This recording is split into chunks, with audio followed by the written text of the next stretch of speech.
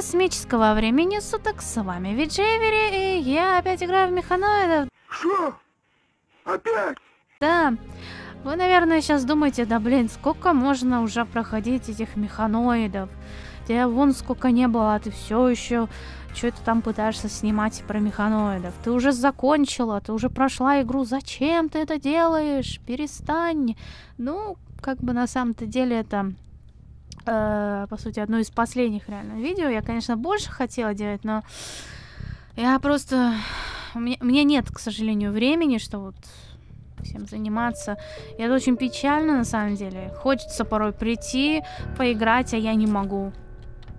И, и это грустно. Но вот в этом видео конкретно я хочу вам показать, э, что можно делать с чит-кодами. Да, вот игры есть э, чит-коды, э, но когда я ее проходила, когда я была младше, я понятия об этом не имела, а теперь я знаю, что они есть, и они достаточно такие, так скажем, а, удобные. Единственное, у вас должна быть английская раскладка, понятное дело. А, ах да, вы залетаете на любое здание, неважно какое. А, главное, чтобы у вас появлялось вот это меню, да? Вот нажимаете Enter. Можете, конечно, написать что-нибудь просто так, типа Hello World и все такое прочее, но, но, чтобы написать а, чит-код, самое банальное добавить немного денежек, да, немного денежек. Это самое простое. Пишем add, balance и, ну, я не знаю. Это так. Вуаля, у нас есть бабло. Да, это гораздо проще, чем летать, торговать, вот этим всем заниматься. Единственное, рейтинг именно на торговлю у вас повышаться не будет при этом. Зато у вас будет много денег. Зачем вам рейтинг на торговлю, когда у вас есть много денег, да? Все становится очень-очень-очень-очень очень просто, когда вы добавляете себе много денег. Вот бы в жизни так. А, ну да ладно. А, второй код это добавление рейтингов. Это тоже очень полезный код на самом деле. Тоже легкий, add рейтинг. И, ну я не знаю, пусть будет как-то так. Ух ты! И вот у меня максимальный рейтинг. Он тут десятый максимальный. И я теперь не опасна, и я теперь совершенная. Чё? Чё? Чё? Что-то они меня хотят, но на мне пофиг. Я вам хочу следующий код показать.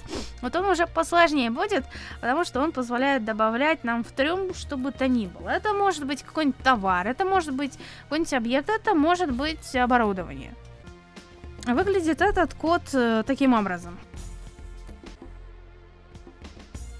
И дальше вот самое интересное начинается, потому что э, нужно знать точно название товара. Дальше можно посмотреть, если использовать какой-нибудь там СДК для механоидов. Э, он был сделан для второй части, но работает с первой успешно очень даже. Но это долго, нудно. В интернетах ныне есть э, целый список всего того, что вам нужно. Ну вот, он где-то тут, вот сейчас на экране должен быть, наверное, если я не забыла его добавить. Вот, и вы должны выбрать что-нибудь из этого, что вам нужно, я не знаю. Но, допустим, я хочу добавить эм, какой-нибудь товар типа титана, да? Самое простое. Вот. Я добавила титан. Добавляются товары по одному, к сожалению, это вот минус. Как добавлять несколько, что-то я как-то а, не нашла. Но, в принципе, я так понимаю, что это не особо и важно. Существует... Это, конечно, не особо а, удобно. И на самом деле я люблю использовать этот э, код для получения а, какого-нибудь оборудования. Например, давайте попробуем а, добавить себе глайдер другой. У меня сейчас это хищник. А давайте попробуем получить э, э, глайдер какого-нибудь там первого, да? И мы получили, это, конечно, не первый, это у нас меч судьбы. Ну да. Вуаля. Вот так вот он выглядит. Такая вот штука. А, допустим, я хочу получить какое-нибудь оружие, для этого я пишу object. Uh, gun. И вот у меня безоткатная пушка. Типа, вот она.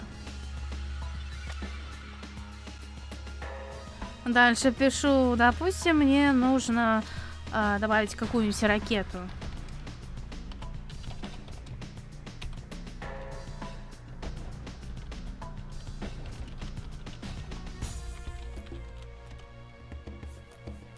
Вот, собственно. А дальше можно добавлять какие-нибудь двигатели, щиты и прочее. Единственное, что добавить просто так реактор не получится. И я вам не советую его добавлять, потому что тогда он, эм, он не появится как реактор, он появится как товар, который вы не сможете увидеть, он будет занимать все место в вашем дрюме, и вам будет сложно летать. Так что не надо э, добавлять себе новый реактор, на него лучше все-таки взять денежку вот Благо, что мы можем использовать читы для этого. А, зато можно, я даже не знаю, добавить какой-нибудь... Э... Например, можно добавить маскирующее покрытие, да? И использовать его по своему назначению и так далее и тому подобное. А, как у меня теперь выглядит мой глайдер? Вот так вот он выглядит. Конечно, можно э, добавлять всевозможные плюшки и на глайдера более низкого стандарта, например, даже вот безоткатную пушку туда можно будет попытаться добавить, но это не лучший вариант, потому что, во-первых, когда вы э, попадете э, в любое меню глайдера на любой базе, вам придется это все продать. Если вы э, получали глайдер, который слабее, точнее ниже стандартом, чем, а, допустим, какой-нибудь реактор или двигатель, а на самой базе не продаются мелкие двигатели, это будет несколько проблематично. А придется перезапускать игру. Поэтому все-таки надо быть с этим несколько аккуратными. Тем не менее, помимо этого, можно еще редактировать данной игры через SDK. Это можно делать по-разному, по-всякому.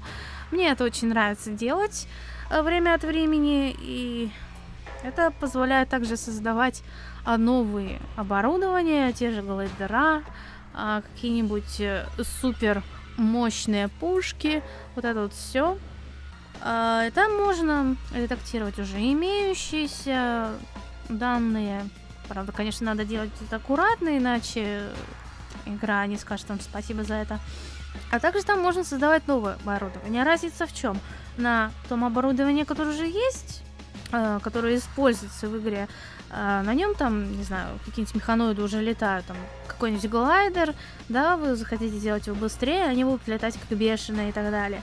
А если вы создаете с нуля, вы нигде не сможете этого купить, но вы можете это добавить через читы. И я сейчас покажу вам парочку вещей, которые я, э, так скажем, создала, да.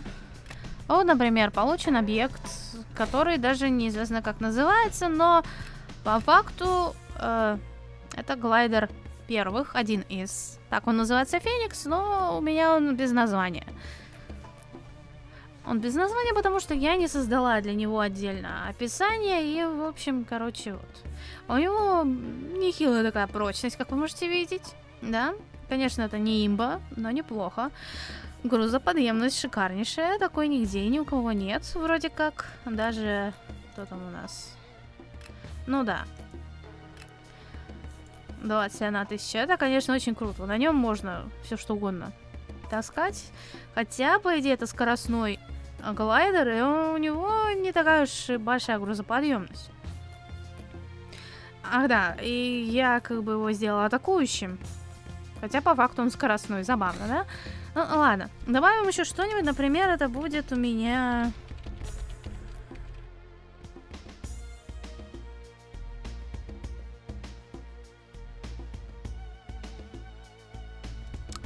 Супер броня, да? Да, вот это вот. Супер броня. Прочность 80 тысяч единиц с быстрым восстановлением. Почему бы нет? Добавим теперь какой-нибудь энергощит, да? Ну, должен же он быть.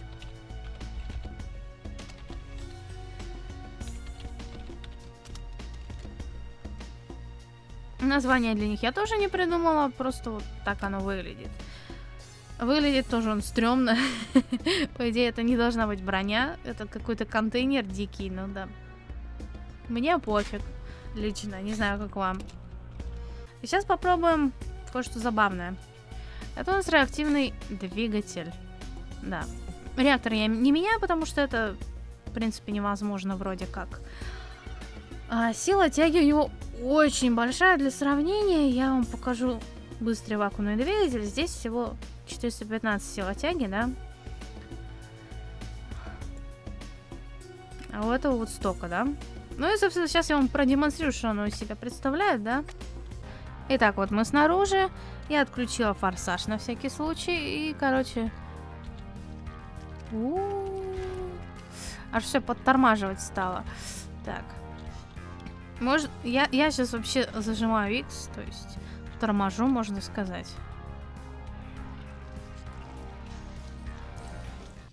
А вот это я полетела, да? Я даже толком не разгонялась. Я просто лечу, да? 2000, не знаю, что километров в час. Если включить форсаж, то вообще будет просто улетно. Но контролировать такую скорость э, довольно-таки сложно. Сложно, но можно. Можно за пару минут пролететь по всему сектору, да даже быстрее, за минуту пролететь, просто круг такой сделать.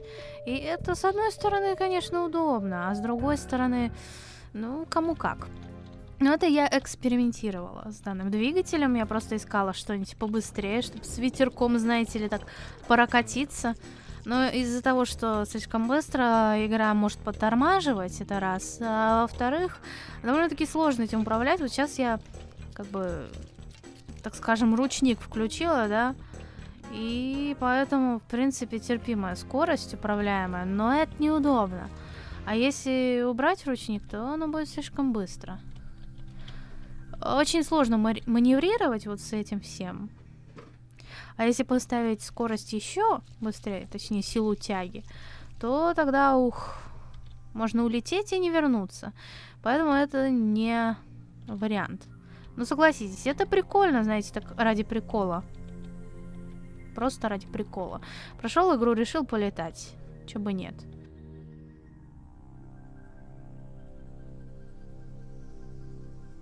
Ой. Вот реально, я летаю, я летаю, я наверху. Такого не добиться ничем. Конечно, во второй части люди прикалывались, э, пытались добраться через контурное поле наверху. То есть они брали молнию пустую, без всякого лишнего оборудования, и пытались взлететь как можно выше. Потому что глайдер легкий, это иногда получалось. Но тут не обязательно быть легким, просто вот такой вот офигенный двигатель. Ну и, собственно, э, у меня есть немного другой вариант.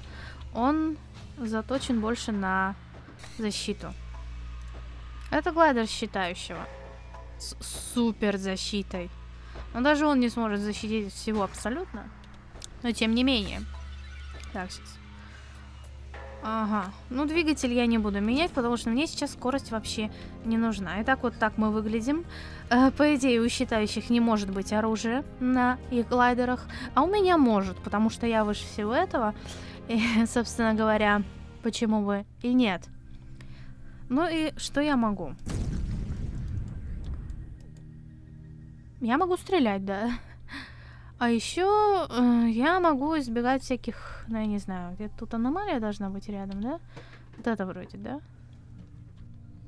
Вот, и я могу тут спокойно находиться и не взрываться.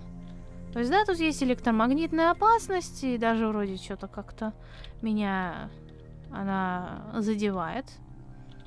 Но по факту мне все равно. И у меня ничего не снимается. Ну, я имею в виду а, энергощит. Тут он уже снимается, потому что тут реально прям сильно такая опасность, да. И энергощит, он как бы у меня четверной, но не самый, так скажем, э, супер-дупер. А вот э, броня непосредственно, она, по идее, у меня должна быть получше. Но я, если честно, не уверена, сможет ли она выдержать эту аномалию.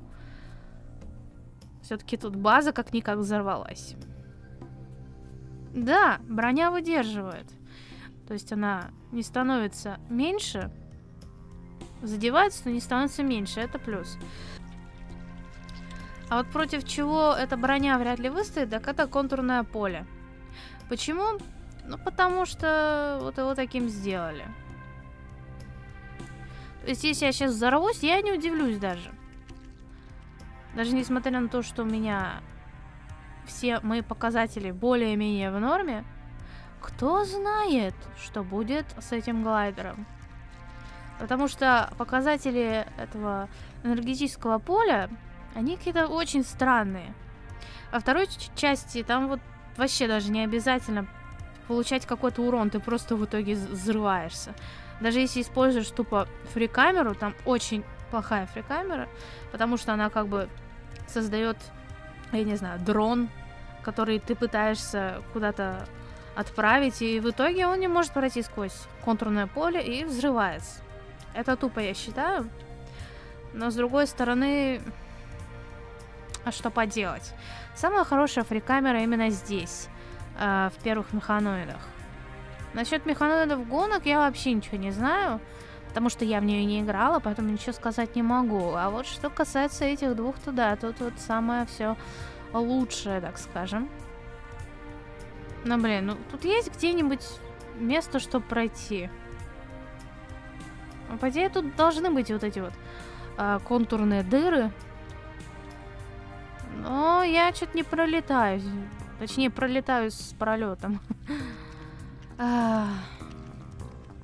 Это странно. По идее, тут должно быть место, через которое туда можно попасть. В каждом секторе есть э, небольшие отверстия в этих контурных полях. Но что-то вот не находится оно. Но, судя по всему, у меня очень даже неплохая броня четырная. Она не взрывается. Вот там кто-то где-то взорвался, я слышу, а я не взрываюсь. Это удобно. Ой, да неужели наконец по получилось? Вы посмотрите, да, я здесь. Да, и тут даже можно восстановить энергощит, смотрите-ка. Но сейчас мы попробуем с вами то, что делать не стоит, а именно... Э, ну, в общем... Посмотрим, что там на краю земли. А на краю земли... Ой, что тут происходит-то на краю земли? А это даже еще не край земли, это, э, так скажем, пред... предкрай. Как я вообще сюда попала, я что-то не помню. Но, вы видите, броня тут хавается просто на раз-два. Это грустно. А вот и глайдер. У меня начал это самое терять э, в здоровье, так сказать. И отсюда уже хрен выберется, потому что, ну, да. И, собственно, мы, мы все за гранью, нас даже не видно. Вернуться мы уже не сможем. И все. Игра при этом вылетает. Поэтому я не советую вам так делать. Да, не делайте так. У игры есть свои лимиты, и если их перейти, то становится уже не особо играбельно. Я надеюсь, вы это понимаете. И, конечно же, я уже говорила вам про э, фрикамеру, точнее, буковку N чудесную, которая позволяет менять время суток. Я ее обычно использую чисто для того, чтобы поменять погоду, потому что когда тут вокруг тумана ничего не видно, это не так клево. Блин.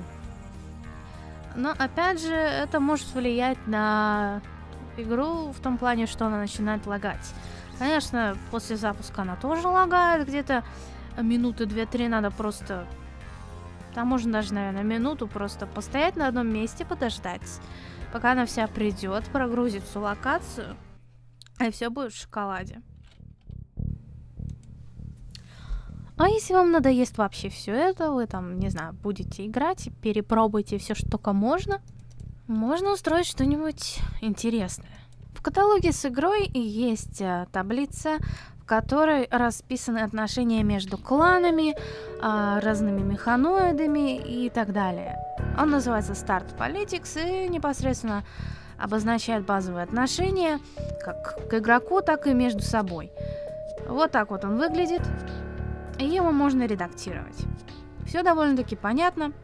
Отношение организации, дальше идет агрессивность, которую она может проявлять по отношению к другим механоидам, если там их задеть или еще что-нибудь сделать, и авторитетность э, непосредственно в секторе. А, как можно видеть по самым первым, это трансы, а, захватчики, а, еще кто-то там. Ну, они не по порядку, конечно, идут просто как есть. В общем, сначала идут трансы, которые все знают уже, наверное, и захватчики. Будем на них смотреть, как все работает. А именно, э, трансы у нас не особо агрессивные, потому что у них всего значение 30. У захватчиков это значение 80, и понятно почему. Авторитетность э, трансов тоже меньше, чем у захватчиков. Трансы относятся к самим себе хорошо, а вот захватчики к ним относятся очень плохо. Это сразу видно. Э, в то время как трансы к захватчикам вообще никак не относятся, просто пустое поле. Но можно написать все что угодно. А, и таким образом можно как подружить всех абсолютно механоидов так и а, сделать их э, врагами друг с другом. Даже считающих. Даже считающих, которые здесь абсолютно не агрессивные. У них стоит ноль по агрессивности, и в принципе они ничем не могут вас задеть. У них оружия даже нет. В общем, путем обычного редактирования можно добиться вот такой таблицы, когда все друг друга будут любить и жить в мире, что приведет к довольно-таки спокойному э, существованию в мире механоидов. А можно сделать так, чтобы все ненавидели только непосредственно игрока. И еще есть вариант просто всех друг с другом поругать, то есть у всех поставить минус 100 или там 1000, допустим, трансы к себе будут относиться хорошо, а всех остальных будут ненавидеть. И так далее. Вот как-то так это можно сделать, и агрессивность будет на 100 поднята и так далее. Давайте посмотрим, что из этого получится. А получится кое-что любопытное. В случае, если все механоиды друг к другу и к вам относятся хорошо, то понятное дело, что никто ни с кем драться не будет, даже если вы будете пытаться их просто а, покрошить на а, льве. Если вы заставите их поссориться друг с другом, но они будут лояльны к вам, то можно будет понаблюдать за настоящими войнами механоидов, Особенно будет э, любопытно смотреть, как трансы пытаются изничтожать всех вокруг. Это выглядит особенно забавно, зная то, что они обычно достаточно мирные ребята. Ну и, наконец, вариант, где все всех ненавидят, и особенно игрока. А здесь надо быть очень аккуратным, потому что выжить в таком мире, даже на легкой сложности, будет сложно. По идее, старт Politics влияет только на начало игры, но иногда можно встретить отголоски э, влияния этого файла на уже имеющихся сейвах. Поэтому, возможно, у меня происходила некая странная фигня порой. Хотя особо вначале я с этим файлом не экспериментировала. В общем, как-то так. Вот такая вот игра, в которой можно делать все что угодно, забавляться как угодно. И, возможно, она достаточно старая, и графон у нее устаревший, но, тем не менее, она затягивает. Здесь шикарный саундтрек. А, в нее интересно играть, даже после того, как вы ее пройдете. Собственно, это я и считаю критерием хорошей игры, когда вы хотите остаться даже после того, как вроде бы все уже сделали. На самом деле мне бы хотелось провести здесь больше времени, показать гораздо больше и сделать гораздо больше, но, к сожалению, я не могу позволить себе подобную роскошь. Тем не менее, еще одно видео я все же запилю, это несчастные таблицы про торговлю. Ну а пока что на этом все. Большое спасибо за просмотр, удачи вам в жизни и до свидания.